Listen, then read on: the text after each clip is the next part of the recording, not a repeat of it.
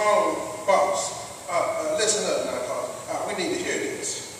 The outward part lives with the natural tendency to make himself his own boss, to live for self and by self. But the whole purpose of the gospel is to decentralize man and give him a new central focus. A focus that changes man's devotion from self to God. Right down to the very root of his being, where God becomes Lord and owner. Man becomes consecrated to God. Some may ask, how is an inward consecration possible? And I'm glad you asked. Man cannot yield his human spirit to God except through love. Self-surrender only takes place when you dedicate yourself to the one you love. Think back when you first fell in love spouse. When you first fell in love, there was no murmuring and complaining.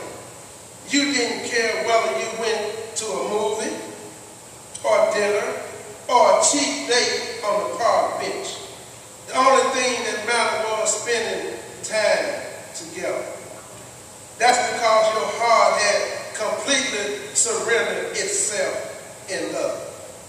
And for those of you who have worked hard to stay in love, the same still holds true. You may have gotten more comfortable in your relationship, and you may have also been down some rough roads together. But when push comes to shove, you'll be the first to admit that you are just glad to still be together after all these years. The same is true of your relationship with God. You've been down some rough roads together, but no trials and tribulations have been able to paralyze your relationship with Christ or bind you to the blessing of being one of Christ's first fruit. If you ain't had any trials and tribulation with God, you, you just hang on it. But wait a minute, because they come. Because as long as you live, there's going to be some trial and tribulation. You may not think they're coming today, but they are on their way. But here's the thing.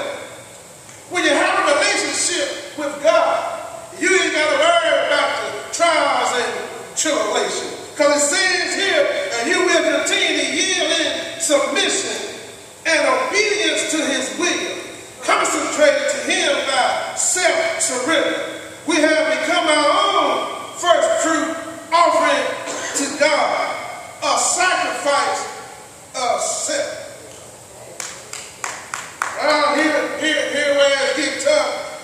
It says, what does that self-sacrifice generate in us? and I say it, it gets tough with that word sacrifice. We don't want to sacrifice. If we do, we, we, we want to sacrifice out our surplus. Our, our battle, our exodus, we, so I, I, I give God some of my surplus. Uh, uh, but when God said sacrifice, uh, he, he, he means uh, sacrifice when you're down and out. Sacrifice when things ain't going right. Sacrifice when you're down to your last two dollars. Put one in your pocket so you have enough uh, uh, for one of those doubles at McDonald's and you put one in check because you want to sacrifice. But we don't like that word sacrifice. Because it means we got to give up